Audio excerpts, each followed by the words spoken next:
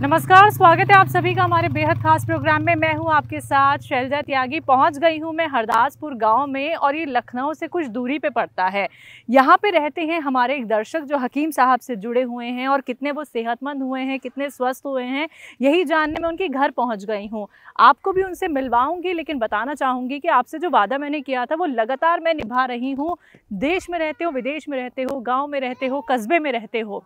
हम पहुँच जाएँगे आप तक क्योंकि हमें जानना है आपकी सेहत का हाल। हकीम साहब की किस दवाई से आपको कितना फ़ायदा मिल रहा है और कितना आप लोगों की खिदमत कर रहे हैं यही जानने में जिनके घर इस वक्त मौजूद हूँ जिनके घर के बाहर मैं खड़ी हूँ अपनी पूरी टीम के साथ उनका नाम है दिलदार साहब। तो चलिए मिलकर उनका स्वागत भी करेंगे और उनके घर पे आपको भी लेके चलते हैं और जानते हैं कि कितने स्वस्थ और सेहतमंद वो हो गए हैं। चलिए मेरे साथ। नमस्कार, स्वागत है आप सभी का हमारे बेहद खास प्रोग्राम में। मैं हूँ आपके साथ शैलजा त्यागी और इस वक्त मैं मौजूद हूँ लखनऊ से थोड़ी दूरी पर एक गाँव पड़ता है हरदासपुर। जहाँ पे रहते हैं दिलदार सर और दिलदार सर से मिलने हम आए हैं क्योंकि वो हकीम साहब से जुड़े हुए हैं। हकीम साहब से जुड़ के उन्हें कितना फ़ायदा मिला है, उन्हें क्या कुछ परेशानी थी, यही जानने तो हम पहुँच गए हैं। उन तक उनके घर पे इस वक्त हम बैठे हैं अपनी पूरी टीम के साथ।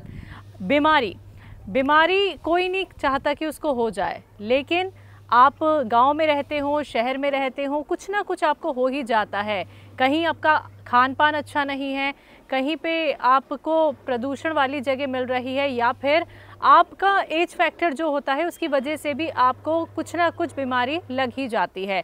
तो दिलदार सर को भी कुछ ऐसी ही परेशानी रही, लेकिन क्या कुछ परेशानी थी, क्या कुछ उन्होंने दवाई का इस्तेमाल किया? हकीम साहब से जुड़ के वो कितने संतुष्ट हैं, कितना खुद को स्वस्थ मान रहे हैं, यही जानने हम उनके पास तक आए हैं।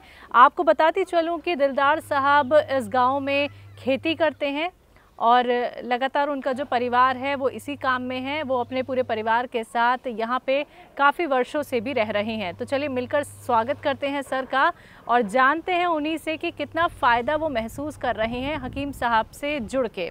बहुत बहुत स्वागत है सर आपका। जी सर नमस्ते। कैसे हैं? ठीक है सर? जी। सर अपने बारे में हमें और हमारे दर्शकों को बताएँ आप इस गाँव में कब से रह रहे हैं? इस गाँव तो हमारी पैदाइश हुई अच्छा। इसी गाँव तो रह रहे हमारे बुज़ुर्ग भी रह रहे थे इसी गाँव में। हाँ हाँ। और घर में कौन कौन है? घर में हमारे दो बच्चे हैं एक बेटी है। हम्म। और जैसे कि मैंने हाँ दर्शकों को बताया कि आप दो बहू हैं। अच्छा खेती का काम करते हैं तो क्या करते खेती है? चार पाँच बीघा वही खेती करते हैं। हैं क्या चीज़ उगती है उसमें? गेहूँ होता धान होता कभी आलू भी हो जाता है। हाँ हाँ हाँ हाँ। तो परेशानी क्या कुछ रही आपको? हमको परेशानी हमारी रीढ़ की हड्डी बढ़ी हुई थी। हाँ हाँ। शुरुआत में हमने अंग्रेज़ी दवाओं की इस्तेमाली किया। हम्म हम्म हम्म। मजहर हसन साहब बहुत बड़े डॉक्टर बताए जाते थे उनको दिखाया। उनसे कोई लाभ नहीं मिला। दवा खाते रहे और बढ़ते बढ़ती रही। एक टीवी पे देख रहे थे कि सुलेमान साहब हकीम साहब की। तो जाके कृष्णा नगर में पता चला तो ये दवा लाए। हम्म हम्म तो इससे हमको 20 परसेंट आराम है 20-25 परसेंट। हम्म दवाई कब से ले रहे हैं? दवाई 20 या 60 दिन हो चुके हैं। बीस या साठ दिन। अभी चल रही है साठ दिन में। हम्म। पूरी नहीं चल पाई है। हम्म हम्म हम्म। 20-25 पैसे में आराम है। हम्म। तो कौन सी दवाई ले रहे हो स्केर एस केयर जी। कब से अ, दो महीने हो गए हैं? दो तीन दिन बाई बीस दिन की देते हैं हाँ, तो हाँ, हाँ, हाँ।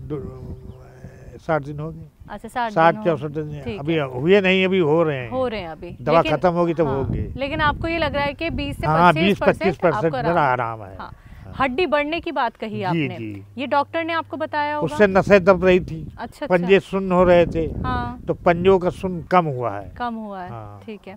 हकीम साहब से जुड़ने से पहले आपने क्या कुछ दवाइयाँ खाई और अरे बहुत दवाइयाँ खाई सब। अंग्रेज़ी दवाई खाई तो और मर्दे बढ़ती रही। ये दवा खाई सबसे खैर कोई मर्द तो नहीं बढ़ रही हम्म। आराम भी मिल रही। हम्म हम्म। कितने टाइम पुरानी बीमारी है? ये करीब सात आठ साल पुरानी बीमारी है। सात आठ साल। हाँ। और अभी उम्र कितनी होगी लगभग आप? उम्र अट्ठावन साल। अट्ठावन साल के हैं आप अच्छा। तो हकीम साहब का प्रोग्राम आपने देखा तो आपने हम प्रोग्राम फिर देखा तो हमने जानकारी की तो कृष्णा नगर में इनका हॉस्पिटल है। वहाँ से दवा लाना शुरू किया। पहली दफे ज़्यादा दवा लाए। हम्म, हम्म। हाँ, तो एस केयर सिर्फ़ आप एस केयर का इस्तेमाल कर रहे हैं सर ठीक है? एस केयर के इस्तेमाल से आपको साठ दिन के अंदर हाँ, 20-25% परसेंट आराम- मिल रहा है। आपकी ये जो बीमारी है ये सात आठ साल पुरानी है। सुन्नपना कम हो रहा है। हाँ हाँ। सात आठ साल पुरानी बीमारी जी जी। डॉक्टर ने क्या कह दिया था? दवाइयाँ खानी ऑपरेशन डॉक्टर जो ये और डॉक्टर मजह हुसैन ये सब कहा तो ऑपरेशन कराना है का। बोले वो। हम्म फिर? ऑपरेशन कराने की भी क्षमता भी नहीं थी पैसा भी नहीं था हम कराना भी नहीं चाहते थे। हम्म हम्म। तो सभी डॉक्टर अब हकीम साहब की दवा हमने ले लेने से कुछ सकून मिल गया है तो यही चला रहे हैं। आपको ऑपरेशन के लिए जब कहा गया तो घर में भी सलाह मशवरा किया होगा आपने? हाँ, सलाह मशवरा किया तो पैसे कहाँ आता था वहाँ तो पैसा बहुत लेकिन एक बात बताइए ना सर सलाह मशवरा आपने घर पे किया? जी। डॉक्टर ने कह दिया ऑपरेशन करा लीजिए।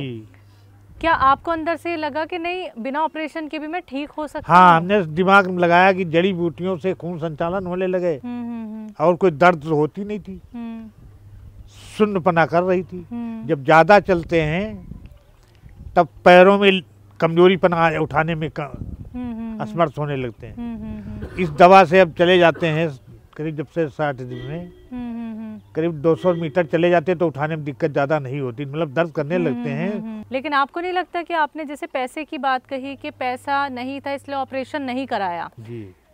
अब नहीं लगता ये कि अच्छा है मैं ऑपरेशन से बच गया? नहीं हमारे साथी सलाही भी मना किया कि ऑपरेशन मत कराना। हाँ हाँ। हाँ। नहीं खटिए पकड़ लोगे। हाँ। तो आसपास के लोगों ने भी ये राय दी कि ऑपरेशन मत कराइए। लेकिन मुझे आपकी बातचीत से ऐसा लगा कि अगर आप पे पैसा होता तो आप ऑपरेशन की तरफ़ चले जाते चले सर। जाते साहब। हाँ। मतलब चले नहीं जाते तो सलाह लेते। हम्म, तो अ, कैसे ख्याल आते थे मन में कि कैसे करूँ क्या करूँ? ऑपरेशन हाँ, की तो बात जड़ी बूटियों में बहुत जगह दौड़ते रहे अच्छा फिर आप जड़ी बूटियों की तरफ़ गए? जड़ जड़ी बूटियों तरफ़ चले। हाँ फिर? हाँ, तो आपको वही कहाँ हैं। रास्ता दिखा? हकीम साहब रास्ता हकीम साहब से मिला फिर। कोई नुस्खे भी बनाए हैं घर में? हकीम साहब के बताए गए? हाँ वो कलौंजी का छिलका बनाया हार्ट की भी बीमारी है। अच्छा।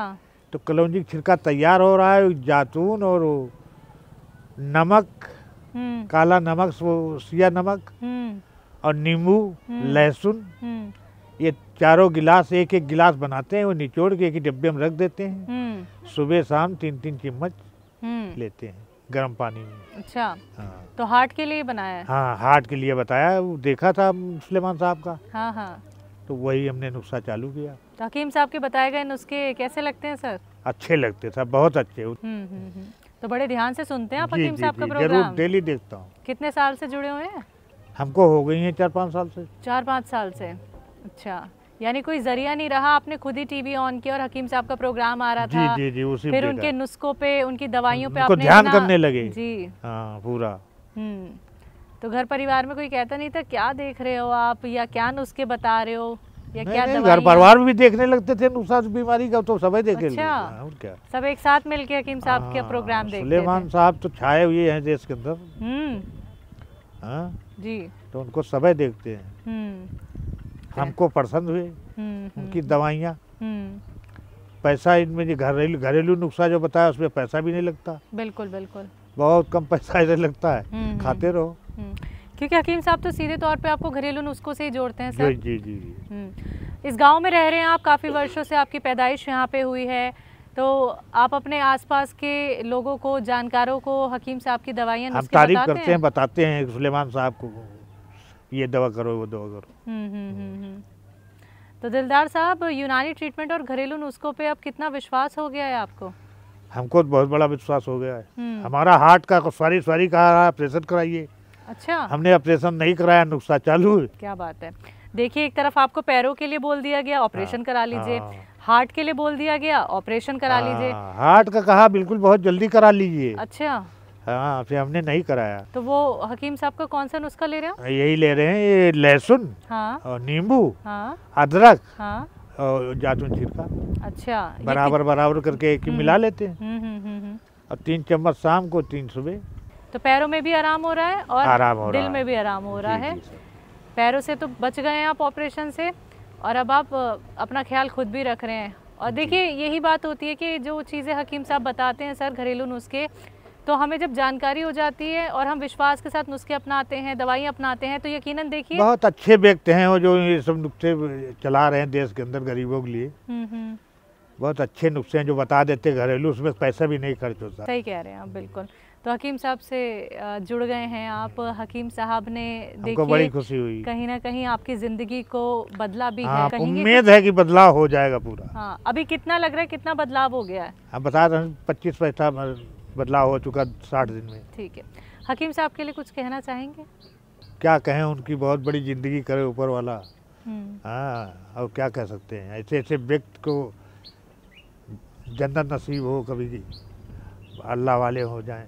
चलिए। बहुत बहुत शुक्रिया आपने अपना वक्त हमें दिया और आपसे मिलने का हमें मौका मिला सर। शुक्रिया। तो दर्शकों आप सभी ने सुना भी दिलदार साहब को और देखिए अभी हाल फ़िलहाल में ही हकीम साहब की दवाइयों से हकीम साहब के नुस्खों से वो जुड़े हैं लेकिन चार पाँच साल से वो हकीम साहब का प्रोग्राम देख रहे थे। बहुत तकलीफ़ होती है ये सुन के ये जान के कि सर को ऑपरेशन के लिए कह दिया गया। लेकिन सर ने उम्मीद रखी और सर ने ये सोचा कि एक बार मुझे घरेलू नुस्खे अपनाने चाहिए हकीम साहब के यूनानी ट्रीटमेंट को फॉलो करना चाहिए। आप देख सकते हैं खुद ही, आपने खुद ही उनको सुना कि उनको कितना आराम मिल रहा है। ऐसे ही आप लोग भी जागरूक रहिए, आप लोग भी अपना ख्याल खुद रखिए। बस आपको यही तो समझना है कि परेशानी क्या कुछ है और आपको यूनानी ट्रीटमेंट या घरेलू नुस्खा क्या कुछ बना के अपनाना है। तो मैं फिर से एक बार आपको ऐसे ही एक सच्चाई, एक रियलिटी दिखाऊँगी एक दर्शक के साथ। आज के लिए दिलदार साहब के साथ बस इतना ही। आप हमारे साथ जुड़े रहिए आप अपना ख्याल रखिए मुझे दीजिए इजाज़त नमस्कार।